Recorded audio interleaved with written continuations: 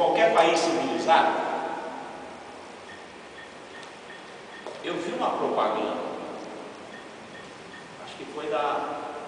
Essa propaganda do Bombril é de uma insensatez ridícula. Tem uma propaganda, se não me engano, é da Honda. É de uma pobreza franciscana.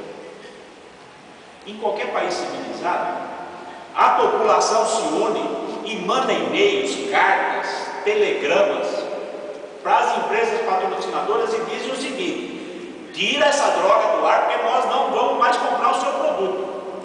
E no dia seguinte está fora do ar. Aqui nós achamos lindo. E eles continuam abusando. E nós continuamos cada vez mais na mão dos bandidos. Os policiais estão amarrados, não tem, eles não têm apoio nenhum, ganham um salário de fome.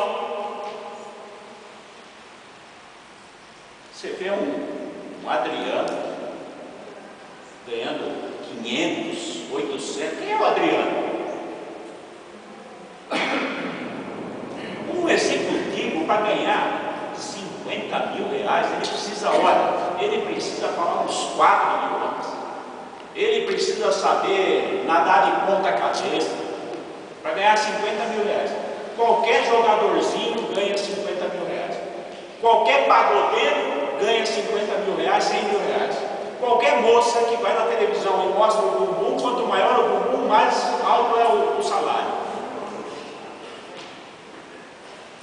Nas Olimpíadas da Educação, Brasil só não ficou em último lugar graças à Namíbia. Os nossos professores estão desmoralizados, desmotivados. Tunísia. A Tunísia. Eu fiquei sabendo esses dias que o imperador Hirohito do Japão, ele só se curva diante de uma pessoa, de um professor. E no Brasil, o aluno está batendo na cara do professor. E o que é pior, muitos pais vão lá para proteger os filhos. Lamento que eu tenha me alongado, mas olha, ou nós acordamos, ou não acordaremos. E eu tenho uma frase do Hélio Ribeiro que eu costumo usar porque eu acho interessante inteligentes do mundo, unidos, os imbecis